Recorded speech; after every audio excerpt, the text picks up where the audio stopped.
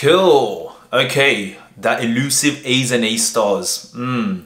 So in this video, I'm gonna go through the revision method that I did when I was in my GCSEs and A levels that got me the A's and A stars. Well, actually, technically we didn't have A star back then in A level, but if you look at the percentage, it would have been an A star if we had A star then. Hopefully this video will give you guys good value in what you can do in terms of your revision techniques because it's not always about working hard. You have to work hard, but you've got to work smart. And if you're able to combine both of them, it's a lot less stress, a lot less pressure. And people just keep thinking like, oh, I'm working 10, 12 hours. Yeah, yeah, yeah, yeah. But how many hours are you actually working that is quality and actually smart? So this video, I'm gonna show you the methods that I've done and hopefully you can take something out of it. And if it does, please leave a like, subscribe. I don't even like saying that, leave a like and subscribe. Sounds so cheap, doesn't it? Uh, don't do it. Listen, only do it if you find it useful, okay? The first one is understand what you're doing. A lot of us, even myself, I made this mistake so many times. I thought that I understood something when really I wasn't understanding it. I just memorized it. And it's very, very different. Like understanding and memorizing are two different things. Let me explain. When you understand something, you actually remember it for a very, very long time because it clicks, it's in your head. But when you memorize something, maybe at best you probably can remember it for a week and then after that you just completely forgot everything. You guys see that? Like think about it for yourself when you understood something and when you memorized it, which one can you recall for a long time? The bit that you've understood, right? So you have to understand it and the reason why you have to do this is for example in maths chemistry or even physics there's going to be a lot of theory there where you need to understand how to apply the theory because when you memorize something you're not really getting the whole works the whole mechanics behind it. And when it comes to exam questions you're not going to be able to answer it because you actually don't understand the theory. Try and understand what you're doing especially with maths physics chemistry to a certain level you're not going to be able to get good grades if you just memorize. You will need to understand the theory behind it and know how to apply it. So one way of doing this that you guys can see if you're understanding memorizing is when you're doing questions, try and pick questions that are different. Don't try and do questions that are similar.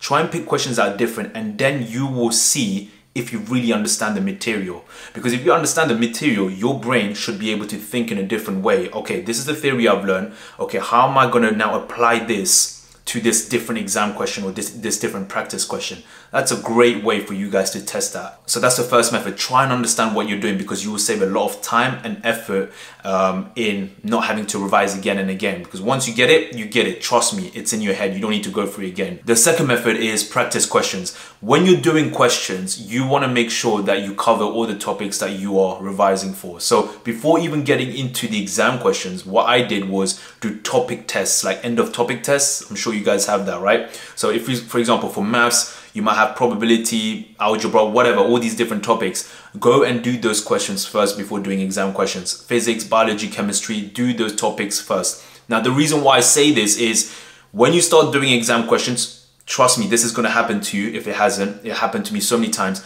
Most of the time, you're not going to be able to answer a lot of these questions because you're like, what, whoa, what the heck? This is your first time seeing an exam question, right? For the first time, I'm not saying that when you're doing it again and again. The first time you do these exam questions for these different subjects, you're going to be taken a bit back and you're going to feel a bit demotivated like, oh my gosh, I don't understand. That is okay. That is okay. That's what's meant to happen. And when you go and do exam questions, have an open book, okay? Don't try and do it without any books. Try and have it with an open book. And the reason why I'm saying that is because it's not about really answering the exam questions right. Of course it is, but the first time what you want to do is you want to recall, okay, what topic is this exam question asking me to use? So you want to recall the topic. That's the first exercise. That's the first step that you want to do. It's going to help your brain to figure out, okay, what topic do I need? And if you're worried like, oh my gosh, I can't remember the topic, this is bad. No, no, no, don't worry. Just have the book there and say, okay, for example, I don't know, molecular structure and chemistry or whatever it is, you can be like, okay, this is asking me on this topic. So let me look at that and say, oh, okay, this is what I need to use.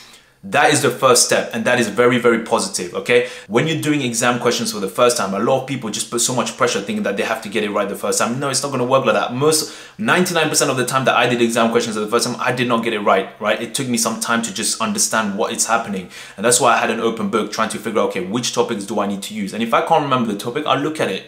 But the reason why you're doing this is so that you're practicing your brain, your mind, to realize, okay, these are the topics that I need to use for this exam question. And then when you do the exam questions again, the next time and next time and next time, you don't need the books. right? These are methods that you can use that relieves the pressure and reduces your stress. You don't need to be going all in thinking like, okay, I revise all the topics and that's it, I'm going in and I'm good. It's not going to work like that. You're going to be very disappointed.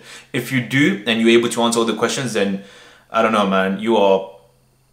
What did he? What did he? What do you? What do you guys call it now? Neek. Is that the word? Neek. That's what the students were saying. I don't. Is it neek or nerd? I don't know. Put it down in the comments. I have no idea. Yes. So with exam questions, listen, take it one step at a time. And before you know it, trust me, you're going to glide through it and it's going to become an easier process for you guys. Also, when you're doing practice questions and exam questions, look at the marking scheme. It's very, very important because you want to know what kind of methods they are expecting you to write and the kind of description or sentences or paragraphs that they want to answer the questions that you're doing so that when you're seeing this you're able to see okay when i see questions like this or something similar these are the kind of methods that they want. That's very, very important. Numéro trois, the third method, sorry, it's a bit of French coming there, is memorizing smartly. Like I was saying just before, right? You need to understand what you're doing. But there's certain things, certain topics, certain subjects where memorizing is the best way to go. For example, biology, right? Biology is more theoretical subject. So subjects that have a lot more theory, you want to try and memorize as much as you can. Now, that doesn't mean just literally read line by line and try and memorize that. No, no, no, no.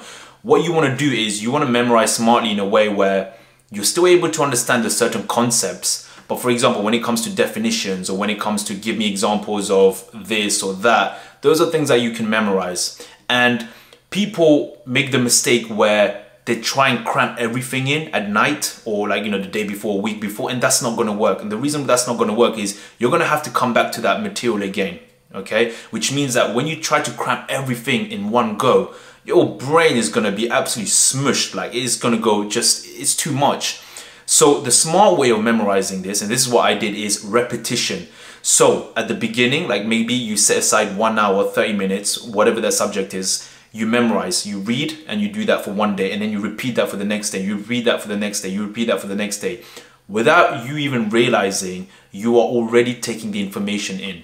That's a smart way of doing it. Because when you repeat again and again and again and again, you're gonna get it. It's easier. It becomes easier as opposed to cramming everything in. Some people are very good at that. Don't get it twisted. Like some people can actually cram everything in. That. I can't do that, man. I'm not that person. So for me, it's like, listen, you do that. There's no way. What you're doing, man, my brain's gonna go. So I had to find another way of being more efficient with how I memorize things. And literally, memorizing for me is the worst thing ever. I can't memorize to save my life. Like my memory is really bad when I'm trying to memorize things. So that's why I had to do this repetition. And I learned that, okay, if I do this on Monday, Tuesday, Wednesday, Thursday, like repeating again and again, it becomes a lot easier. And uh, yeah, that's something that you guys can do when you're memorizing certain things. Be smart about it. And the last one is, I feel one people don't really talk about because it's a bit deep and people just don't like deep conversations, I guess. I don't know. But it's self-awareness let me explain. When you're doing revision, when you're revising, you also want to be able to take a step back and see, okay, what exactly are you doing right and what exactly are you doing wrong? And that comes from being self-aware because it's so easy to get magnified in the revision, in the studies, in the stress and the pressure that you don't actually need, you don't realize some of the things that you're doing wrong. Like maybe from someone else, like from a third person, whether it's your family, your friends, they could be looking at you and be like, oh, hold up, you're doing this wrong, this wrong. But you can't realize that because you're so in it. And it's so important sometimes just to take a step back when you're revising and say, okay, how is my revision going? Am I making progress? Am I doing things right? Am I doing certain things wrong? If I'm doing certain things wrong, what can I do to improve? That is so important. Self-awareness, not just with GCSE A levels, even after university life. Like I'm even now very, very self-aware of what I do. That's why probably I'm quite a deep individual, but that's because I'm also I look at myself. I always look at myself and the things I do wrong and the things I do right. It is such an important skill that people do not talk about. When you're self-aware, whether it's even time management in terms of like how much time are you putting on certain subjects? Do you need to put that much time in certain subjects? These things are very, very good and vital information for you guys when you're revising. For example, let's use this as an example. You're revising for three hours on, I don't know, biology or chemistry, and then you're spending like one hour on, I don't know, history or maths and to you, you might think like, okay, this is great, I'm doing work, right? But maybe to someone else, like me coming in, I'm, I would probably ask you, okay, why are you spending three hours on history? Or as opposed to one hour on maths. Now you might say, okay, history is your weak subject, which if it is, fine, that's definitely makes sense.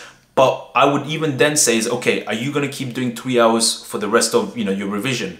Because then you need to start adjusting. You don't need to be putting three hours every single time. I know it's a weak subject, but that's why at the beginning you put off time. Once you're able to get past that, you can start reducing that time. And see, that comes from being self-aware. If you're able to do these little tweaks here and there, trust me, your revision will be a lot better. So yeah, those are the methods that really help me. And listen, you don't need to listen to what other people are doing.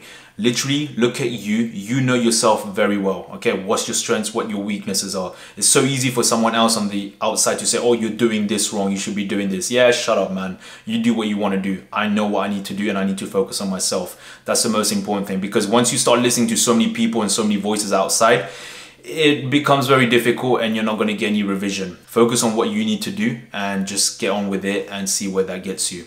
That's what I would say.